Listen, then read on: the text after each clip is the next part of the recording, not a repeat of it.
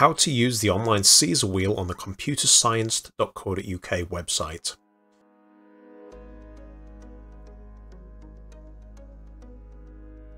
The online Caesar wheel can be used to both encrypt and decrypt messages.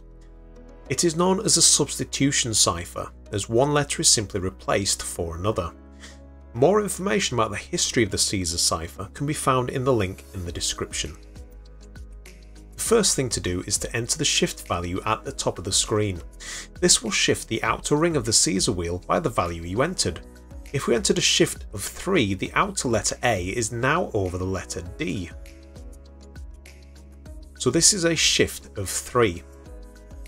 Now that we have set up our Caesar wheel to the correct shift, we can now try encrypting a message. Let's encrypt the word hello. To encrypt, we look at the letter on the outside of the wheel and write down the letter on the inside of the wheel. So H in this case becomes K.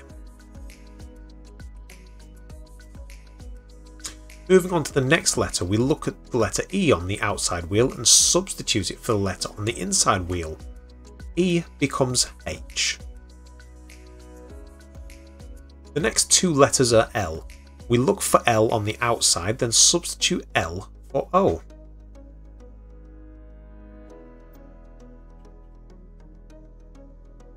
Finally, we look for O on the outside and look at the inside and substitute O for R.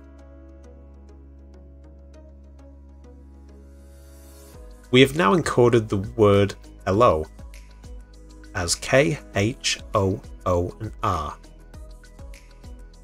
To decrypt a message we again need to set up our Caesar wheel with the correct shift value. In this example we will use a shift of 5. The outer wheel will move to the fifth position over the letter F.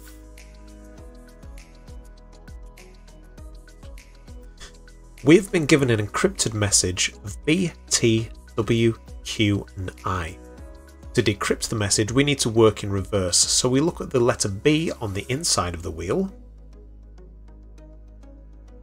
and this is the letter W. The second letter is T, so we look at the T on the inside of the wheel, which is the letter O.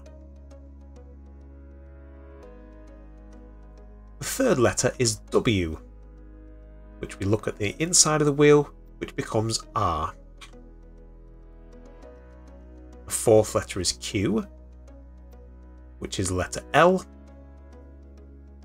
And the final letter is the letter I, which becomes D. Our encrypted word is world. To recap, the first thing we must do is set the shift value. Once the shift value is entered, we can encrypt and decrypt messages.